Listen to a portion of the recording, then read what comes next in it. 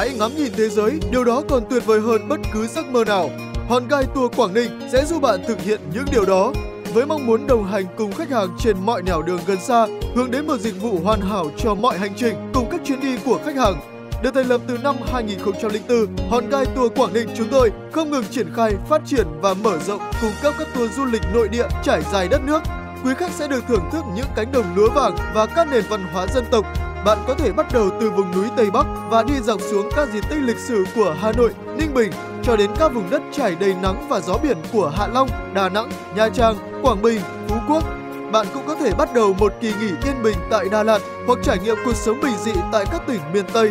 Hòn Gai Tour Quảng Ninh chúng tôi còn phục vụ các tour du lịch quốc tế tới tất cả các vùng đất thuộc Nam châu như Hàn Quốc, Nhật Bản, Trung Quốc, Mỹ, Anh, Pháp, Úc, hỗ trợ tư vấn và visa cho người Việt Nam ra nước ngoài và người nước ngoài muốn tới Việt Nam.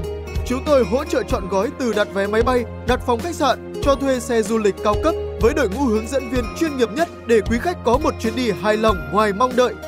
Hòn Gai Tour trọn vẹn niềm tin.